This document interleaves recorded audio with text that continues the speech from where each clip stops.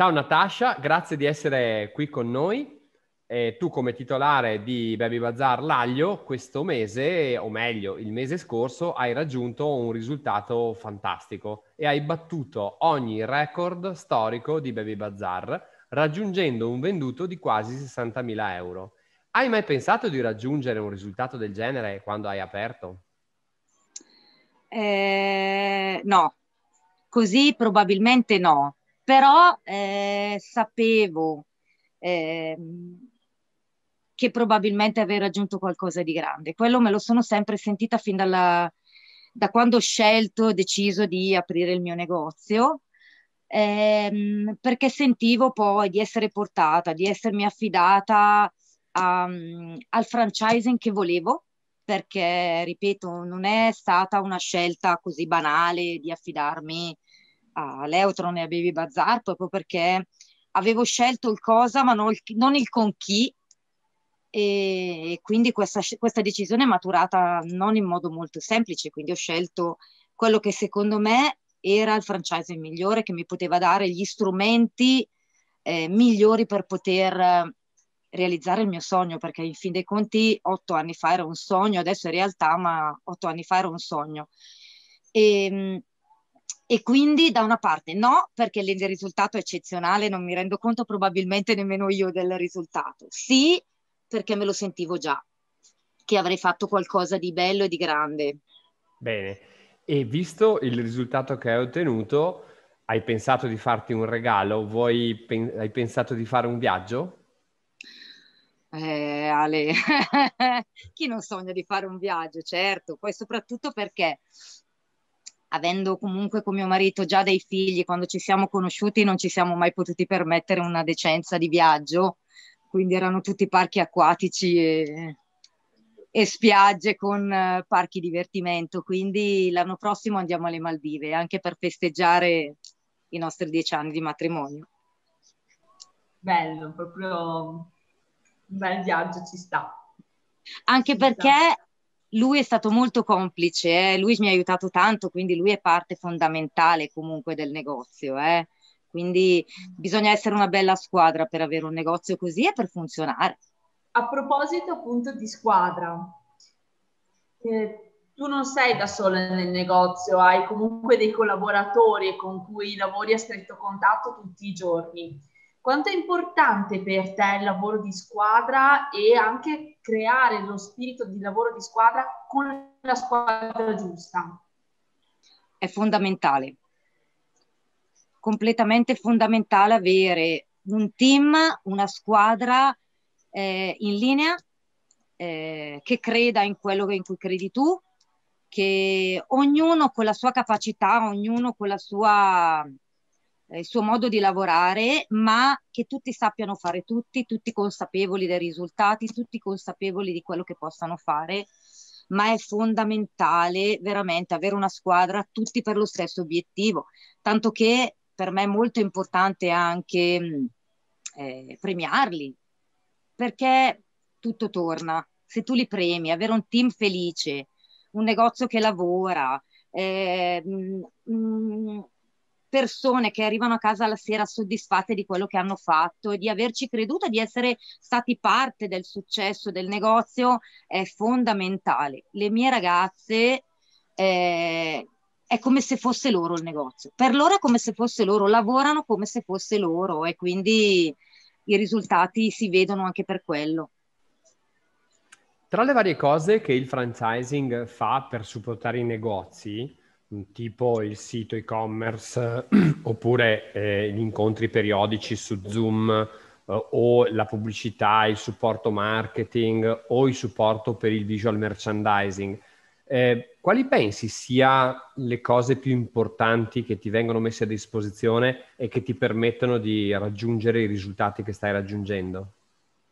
Allora, un po' tutto in verità ed è uno dei motivi perché ho scelto, ripeto, questo, questo franchising e non, me, non, non, smetterò mai di dirlo perché è fondamentale veramente, perché secondo me da soli è molto difficile, è molto molto difficile. Ti devi affidare un po' come dicevamo prima a una squadra in negozio vincente, ma deve essere una squadra vincente anche che ti supporta, se no è difficile perché ognuno ha il suo, poi sono tante le cose da fare, quindi è giusto che ognuno faccia il suo ed affidarsi ad una squadra vincente già è un bel...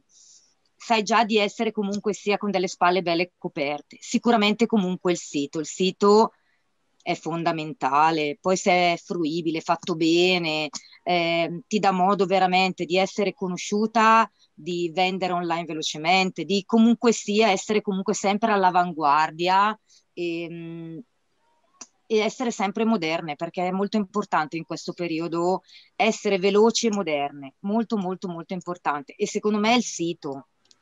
Oltre, oltre all'e-commerce ti vediamo anche tanto attiva anche sui social. Eh, come riesci a gestire anche tutto questo lato social e quanto ritieni sia importante poi il lato social anche legato sempre come dici tu una necessità di modernizzazione? Allora, il lato social è cresciuto tantissimo e mh, è indispensabile. Un po' tornando anche al discorso di prima, avere comunque delle collaboratrici sul pezzo, quindi non puoi arrivare dappertutto assolutamente, quindi ognuno un po' eh, si occupa al meglio di determinate mh, versioni un pochettino del negozio, però avere una persona che si dedica, può sembrare una perdita di tempo, ma assolutamente non lo è, anzi è, è, vitale per il negozio. Quindi avere una persona che segue i social in questo momento, associato, ripeto, al, al sito, associato a tutte queste cose, è importantissimo in questo periodo dove lasciamo perdere magari questo momento che magari di chiusura delle città, che magari ancora di più eh, sollecita le persone a, mm, a, gestire tutte le cose online, ehm, l'età, eh, il modo di fare delle persone ormai è diventato online, completamente online, quindi c'è stato un cambiamento notevole da quando io ho aperto, ma veramente se devo pensare un po' quando ho aperto, la differenza che c'è adesso è veramente una differenza abissale. E il social, seguire social, avere una persona dedicata completamente a questo ti fa un buon 30% di negozio, di fatturato di negozio. E visto che hai, hai, citato il fatto che negli ultimi tempi eh, le modalità anche di interazione con i clienti sono cambiate anche grazie all'introduzione dei social e tutte queste cose qui, ma hai notato nell'ultimo anno un cambio di mentalità da parte dei tuoi clienti o un ringiovamento, cioè o comunque una variazione in termini di età da parte di chi frequenta il negozio? Guarda, ne parlavo giusto con mio fratello poco tempo fa. Eh, avevamo visto insieme una... perché sempre di più poi in televisione parlano di usato, ci sono dei servizi anche piuttosto grossi su Canale 5, su... dove si parla veramente di, di negozi dell'usato. Io lo... si è completamente stravolto il mondo dell'usato. È passato da un fabbisogno, è passato da una moda, un'idea, un, un credere quindi è completamente cambiato, un po' come quando scegli una griff e ti affezioni, è un po' la stessa identica cosa. Quindi non è, di, non è più un bisogno perché costa meno o eh, posso avere la stessa cosa meno, è completamente il contrario. Lo voglio fare perché mi piace, è figo. È proprio cambiato il trend. Mi rendo conto che non è più, ehm, è proprio una scelta adesso. Ehm, e sempre di più noto questa cosa, soprattutto anche a livello di clientela. Io ho gente che potrebbe benissimo non avere bisogno del negozio dell'usato e lo fa perché lo vede una scelta intelligente, in cui ci crede e perché gli piace. Gli piace anche acquistare proprio, gli piace acquistare online, scegliere le cose dal sito, eh, gli piace proprio. È più un fatto proprio di scelta, per, di piacere. Nel mondo dell'usato in Italia i mercatini applicano degli sconti automatici, quindi una volta che è terminato il periodo di esposizione viene applicato automaticamente uno sconto sul prezzo. Baby Bazaar ha voluto fare una scelta diversa, quindi una scelta più ispirata al mondo del retail, del nuovo, e una scelta che ha eliminato gli sconti e ha portato avanti le promozioni. Qual è il tuo pensiero in merito? E come hai visto questo cambiamento anche all'interno del tuo negozio? ci colleghiamo un pochino al discorso un po' che ho fatto prima, nel senso che quando è stata proposta questa idea, eh, sono stata subito completamente d'accordo perché mh, mm, eh, l'ho, l'ho, da subito vista una cosa mh, mm, eh, magari un po' eh, azzardata, ma che poteva essere vincente. E, si, e infatti dopo poco tempo si è comunque rivelata la scelta vincente perché gli sconti danno l'idea un po' come dicevo prima di mh, mm, regalare un po' l'avanzo, quindi quell'idea un po' brutta che ci può essere magari del negozio dell'usato e che dove effettivamente pochi effettivamente eh, acquistavano in questo, peri- in, questo, in questo range di acquisti veramente eh, con, con, con, prezzi irrisori. Quindi ha dato subito l'idea di, di negozio, di, di, di, negozio dove non c'è eh, il, il, dove non ci sono i pezzi che sono lì per essere quasi regalati. Quindi dava proprio l'idea di un negozio, quindi non svendere, di non, di non regalare, quindi l'idea proprio di negozio. Quindi mi è, mi è piaciuta proprio questa idea, tanto che effettivamente dal mio punto di vista, e penso di avere avuto il risultato alla mano, si è, si è rivelata da subito vincente, eh? da subito un'idea vincente. Natascia, nel mese di settembre il tuo negozio ha vinto una sfida importante, riuscendo ad attivare oltre 700, a, fare 700 attivazioni, 700 livelli gialli e solo per quell'operazione lì hai incassato più di 3.600 euro di servizi e sei arrivata ovviamente prima in questa challenge e, e, ti sei distinta rispetto a tutti i tuoi colleghi. Spiegami un pochino com'è andata, raccontami un po' come avete fatto ad ottenere questo risultato. Allora, ci conosciamo un po' da, un po da Alessandro, sai che per me le sfide, quando poi mi lancio una sfida del genere, io faccio il possibile per, non per vincere, non l'idea non era vincere, ma era prima di tutto mettere alla prova le mie ragazze. E quindi questo è stato molto bello perché se tu crei loro degli obiettivi, diventano, eh, sono invincibili, veramente. Il mio staff, se io loro credo, ragazze, dobbiamo fare questo, eh, veramente diventano invincibili. Sono, divent- sono molto, molto brave in questo, quindi penso di averle educate molto bene in questo, quindi se c'è un obiettivo, se c'è una sfida, se c'è un qualcosa che lo si può raggiungere, bisogna avvicinarsi il più possibile a quel, quell'obiettivo e ci si deve credere perché ce la fai, ce la fai. Io penso di essere veramente l'esempio. Eh, la mia idea era, ed è una cosa che ho sempre pensato comunque nel mio negozio, ma da quando l'ho aperto, non creare differenza tra venditori e compratori. Il venditore deve comprare, il compratore deve vendere. Per me è fondamentale questo. Quindi io devo avere questa eh, dinamica, assolutamente, non deve essere divisa. Quindi il mio obiettivo era creare un qualcosa che era legato soprattutto a un venditore, farla comprendere a un compratore ed era questa più, più, che altro la mia sfida, non tanto il raggiungimento di, dell'obiettivo a livello numerico. E, ed è stato veramente molto gratificante perché mh, si può, puoi, se tu hai il metodo giusto, hai il modo giusto di proporre queste cose, di far diventare, ripeto, un compratore, un potenziale venditore e di conseguenza anche il contrario, basta, hai capito il, come essere vincente in questa attività. Natascia, che cosa ti piace di questa attività? Raccontaci un po' il rapporto poi anche che hai con i clienti, quanto eh, ti piace anche trasmettere la passione che tu comunque investi nel, nel tuo negozio e in questa attività. Allora, la cosa che mi piace di più, ma perché è più legata a quello che sono io. Io sono sempre stata una venditrice, quindi ho venduto dall'abbigliamento alle scarpe, dall'ultima mm, mia esperienza facevo liste nozze, quindi vendevo liste nozze e quindi mm, questa è stata la mia ultima esperienza, sono una venditrice nata, quindi mi è sempre piaciuto comunque ehm, vendere un qualcosa che una persona potesse ricercare ma a livello vero, cioè tu hai bisogno di una, quos- una qualcosa, io ti vendo il, la miglior cosa che tu vuoi al miglior prezzo.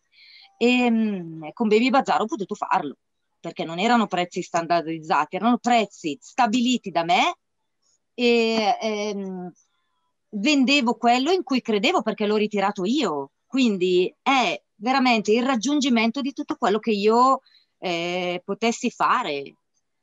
Quindi è stato veramente il, um, il raggiungimento del sogno che io avrei voluto. Quindi il vendere, l'acquistare al prezzo che dico io, che secondo me è corretto, quindi in modo serio, in modo comunque sia consapevole, tanto che se poi lo vendi vuol dire che il prezzo è consapevole, è giusto. E quindi la cosa che mi piace di più è proprio il vendere, vedere le persone che si fidano di me, l'avere, l'essere limpidi, l'essere comunque seri, quindi avere, ripeto, le persone che si fidano di te e che tornano da te perché si sono trovati bene, perché si fidano di te e sei diventato un riferimento per loro. E quando poi i clienti, per i clienti diventi un punto di riferimento, non c'è lockdown che fermi niente, perché a Bergamo c'è stato un lockdown della Madonna, eppure la gente è tornata, anzi più forte di prima e questo veramente mi ha dato eh, la consapevolezza di capire che ho fatto un lavoro fatto bene, che la gente se tu ci credi e le tratti bene e sei seria, tornano e penso che non ci sia risultato migliore di vedere una cliente soddisfatta, se ha venduto o se ha comprato e che continua a tornare da anni e anni. Ultima domanda. Se una coppia di tue amiche venisse da te e ti chiedesse qualche consiglio per aprire un baby bazar, che consigli gli daresti? Allora, crederci prima di tutto perché mh, mm, devi crederci fino in fondo, devi essere consapevole di quello che è perché non è un lavoro facile. Eh? A me spesso capita, uh, che figo il baby bazar, mi piacerebbe aprirlo, ma è, non dico quotidiano, ma settimanale. Quindi c'è un lavoro dietro, un lavoro non indifferente, non è un negozio dove tu entri, compri e te ne vai. Quindi si, si deve creare veramente del feeling del, del, um, con il cliente che viene. Quindi devi essere portata per questa cosa, eh, devi essere consapevole che non è un lavoro facile, quindi è un lavoro che ti porta via del tempo, ma che ti dà un sacco di soddisfazioni, tante tante. Eh, lo consiglierei, eh, con criterio però, non è una passeggiata aprire un negozio dell'usato, non è una cosa che dici non so cosa fare, apro un negozio dell'usato, è una scelta di vita, quindi è una scelta di vita che ti condiziona tutta la vita, perché poi tutto gira intorno a quello in modo anche piacevole, perché poi eh, è bello. È proprio bello il mondo dell'usato, è proprio bello la gente che lo frequenta. Quindi lo consiglierei. Eh, forza, cioè bene, fa anche piacere poi avere delle persone che abbiano voglia di investire in questo, perché è un bellissimo mondo, non solo il mio negozio dell'usato per bambini, proprio il mondo dell'usato è, è proprio bello. Bello e moderno, perché sai che io a me piace questa, questa cosa qua, soprattutto perché adesso la, la, le mie clienti cominciano ad abbassare l'età io invece mi sento un po' più alzata di età, quindi devo, devo contrastarla questa cosa. e, mm, però ecco, un bellissimo mondo, bello, di, mm, di buttarsi in modo consapevole, ecco.